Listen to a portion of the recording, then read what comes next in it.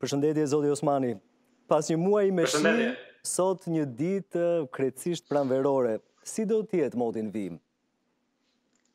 Në fakt po, ke të drejtë, dita e sotme ka qenë një ditë tamam pranverore, pasi kemi patur temperatura të cilat kanë qenë të larta ku në zonat malore vlerat minimale janë shënuar në 3 gradë Celsius, ndërsa maksimumet në zonat jugperëndimore deri në 18 gradë Celsius, po ashtu kemi patur dominim të kthjellimeve. Po, Duke filluar nga mesdita dhe pasditja e së dielës kemi shtim të vranësirave në territorin shqiptar dhe në orët e mbrëmjes kemi reshje në vendin tonë në zonat veriore dhe veriperëndimore. Më pas në orët e mbrëmjes këto reshje do të fuqizohen në veri dhe veriperëndim ndërsa në zonat qendrore dhe jugore të territorit shqiptar do të kemi prezencë të pakët të reshjeve të shiut. Më pas, paraditja e ditës së hënë sjell prezencë të reshjeve të shiut, por do të kemi dhe alternime me kthjellime në zonat jugore dhe qendrore, ndërsa në veri mbeten reshjet me intensitet mesatar dhe lokalisht intensiv.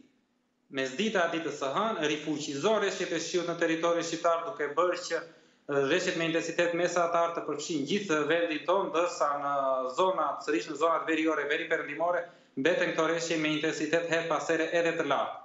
Mbrëmja sjell një përmirësim të përkohshëm përmirësim i cili do të vijojë edhe gjatë ditës së premte, të martë më falni, por që e marta në, e marta në pjesën e dytë të ditës do të sjellë sërish reshje të shiut. Po. Ndërkohë bëhet fjalë për sa ditë me intensitet të mesëm e të lartë për sa i përket reshjeve të shiut?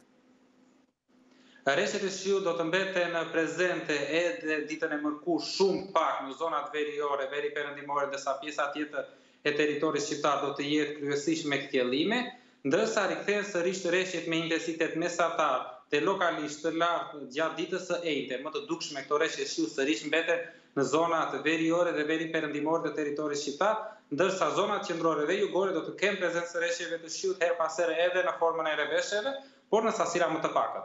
Qartë, pra mund presim një fundjavë të mirë apo jo javës që vjen? Kemi një përmirësim në fakt të përkohshëm të kushteve të motit gjatë ditës së premte, po ashtu dhe një rënie të vlerave termike. Fundjava sërish na rezervon reshje shiu në sasi më të pakët në zonat perëndimore ndërsa në zonat malore do të kemi rishfaqje të reshjeve të dëborës në vendin tonë. Kryesisht më të dukshme do të jenë në veri, veri në zonat veriore, verilindore të vendit tonë, ndërsa më pak, më të pakta do të jenë në juglindje të Shqipërisë. Po, për sa i përket temperaturave, do të jenë të një mesatare të kësaj periudhe apo?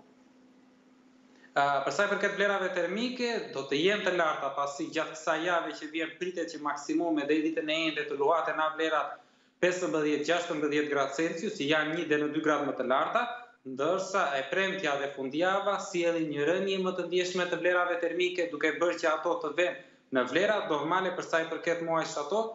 Kjo rënie e vlerave termike krijon dhe mundësinë e reshjeve të dëborës në zonat malore, pasi në vlerat minimale pritet që në zonat malore të zbresin edhe në vlera negative.